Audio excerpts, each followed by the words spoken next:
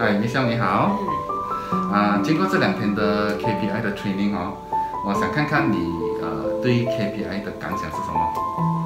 嗯，OK，我首先我先讲 before done training 的感想。嗯嗯。Before done training，我知道 KPI 是很很重要，for 对一个公司来讲，或者是对于员工，我们 for management 要怎么样去 improve 员工的 performance 来讲是很重要。呃，那时候有一个 concept 是说 KPI 是应该要。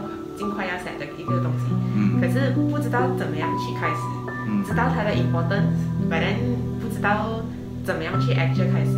开始的话，可能有一个 big picture，可是不会 go into details 上怎样去 step out the first step。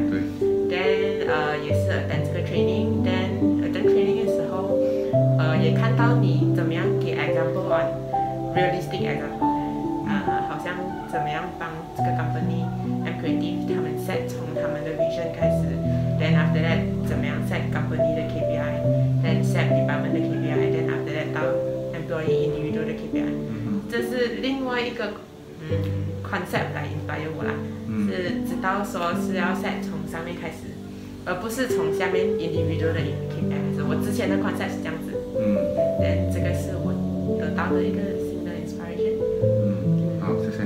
那你认为哦，呃？是不是每一间中小型企业啊的老板啊都应该 KPI 呢？